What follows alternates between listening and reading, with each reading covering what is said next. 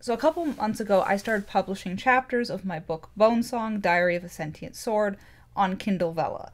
It was for a competition they were running that concluded, and everything's done with that. But it motivated me to um, publish the chapters at a faster frequency, and for that, I was very grateful for. I just received an email announcing that Kindle Vella is shutting down.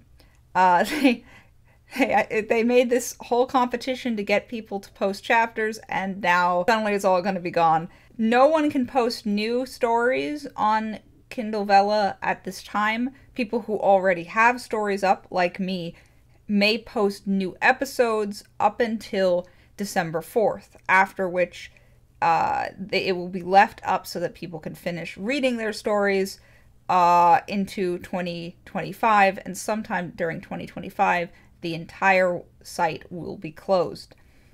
So, um, this is kind of uh, unexpected and came out of nowhere. I think it it's inconvenient, but might turn out to be a good thing. Uh, I have my own thoughts on the Kindle Vella site, which CUI had serious issues and did not seem to be optimized this could end up being a positive thing for Bonesong if I just figure out how I'm going to uh, deliver new chapters to you guys in the future. But in the meantime, the plan is this I will be speed publishing chapters so that we reach chapter 20 before the cutoff date in December 4th. I'm doing this because a lot of you bought tokens just to read my story, and I do not want you guys to have any leftover tokens before that website closes down for good. And I'd love for you guys to be able to use them all up.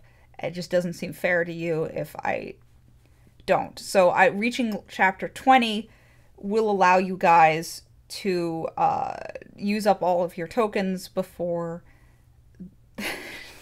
the whole site is closing down. Uh, afterwards, I will be leaving it up for a month or so to give people time to catch up and use their tokens. After which, I will be unpublishing the story from Kindle Vella because that's what Kindle Vella has asked us to do. Um, and then I am going to find a new location to be posting these chapters. I haven't figured out where or how I'm going to do that yet, but it will be happening. Uh, there's a lot of considerations to be had on how to get that to make that fair and reasonable and convenient for all of you. Um, I'll I'll be looking into some different options. We'll we'll see how that goes. Um, the most important thing uh, is good news. I will be posting way more frequently this month. Um, bad news, uh, just the whole system will be changing in the future. So, just let giving you guys an update on how that is happening. Uh, chapter 14 is out. Chapter 15 might be out by the time this video releases. We'll see. Thank you so much for the people who are following it and reading it. It um it's continuing. The the Kindle Vella is not going to stop me from uh posting more Bonesong. Um I I like the story. I enjoy the story.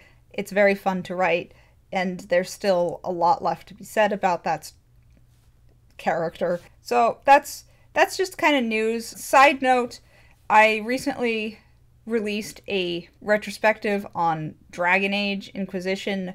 I that did not go out to all of my subscribers. So if you guys missed that and do want to watch it, I'm just letting you guys know that that video exists it wasn't promoted to um, your subscription feeds. I apologize for that. Uh, if, if, that if that interests you, do check that out. Uh, anyway, that was my Bonesong update for today. Uh, keep a lookout for the next upcoming chapters. You guys have a great night.